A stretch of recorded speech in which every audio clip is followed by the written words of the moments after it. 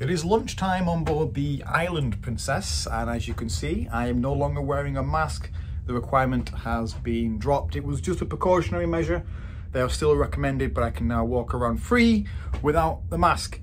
Also, incredible news, I have finally found the location of the crew bar, sorry, the crew recreational area. That's the most important thing of this contract so far that I found. Um, my map has fallen off the wall. I need some uh, stronger magnets, I think, before that uh, keeps falling down. Um, so it's only midday today. I've done a few things today. I've met a guest, a guest that I booked onto this world cruise six months ago. So it was amazing to see uh, Manuel uh, from Mexico. Uh, again, he booked the cruise with me. And um, he, there was a guy on board my last ship uh, who had done literally the entire European season, I'm talking six months of back to back to back cruises. And he's here again. So hello to Frank if you watch my videos as well. Uh, amazing to see you again. And I've also been invited today by the medical department to have a booster. Turns out I now need a fourth booster um, jab for COVID um, if I want to continue on this ship, which is fine. I don't mind that. Just took me by surprise. I didn't realise we were still doing uh, boosters. I thought the third one was enough, but apparently I now need a fourth one and I'm just going to relax now in my cabin. A lot of my papers have been done. My credit card is now logged. I can now buy things. So I'm now looking forward to tonight where I'm going to check out the crew shop and the crew recreational area. Remember, it's not a bar, it's a recreational area. Um, I've met some old friends today from the sky as well, crew now I'm talking about. So it's it's been a really nice day today so far. It's only midday.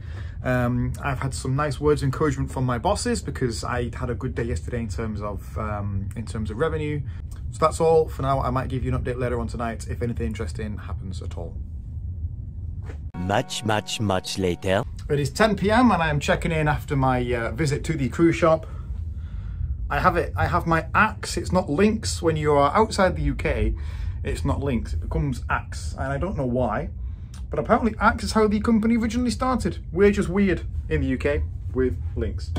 Um, we've been to the crew recreational area. We have found it. We have found the crew shop, and um, very impressed. The crew bar, sorry, the crew recreational area not quite the same size it was on the Sky Princess. It's a little, little bit smaller.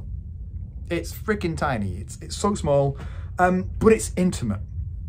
And that is incredible because I was there for all of, what, half an hour? And you get, you get talking to everybody. You get talking to absolutely everybody. So I've just met a Geordie uh, electrical engineer and a Scouse, oh sorry, two Scouse members of the band as well as a Brazilian, a Chilean, and a guy from Nicaragua. So there's so many different people on here. I, like I, said, I was there for about, about, about an hour, to be fair. So I am now going to go to bed. It is uh, it is kind of late. It is 10 o'clock. So to me, that's kind of late. I am kind of tired. I was up early this morning. And I am up early tomorrow. Uh, 8.20, I have to get this booster vaccine. Which in hindsight, I actually don't know where I have to be for that vaccine. I presume it's the medical centre but I'm not too sure. So actually, I'm now going to go back to my office to find out where that vaccine is going to be done. I, I, am pretty sure it's going to be the medical centre, but I don't want to mess that up. So, um, yeah. This ship, by the way, is proper moving in the ocean. I'm going to show you in a minute. Um, but there are waves going against my window. So I'm on deck five here. Um, I was on the Sky Princess on deck four and the waves hit me then. This is deck five. Okay, it's a smaller ship, but the waves here are ginormous and you can really feel this ship move. I was walking down the, um, the M1 before.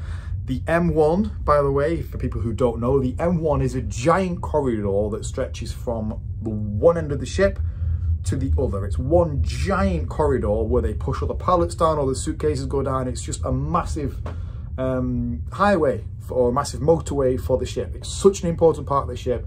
And I was walking down there before and there are people just like walking to the left and then they're walking to the right because the ship is moving so much. It's absolutely insane. Um, and now it's late at night. I feel like it's got even worse.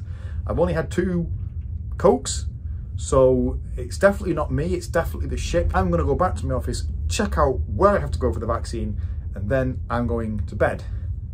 Good night, and I'll try not to fall flat on my face as I do it.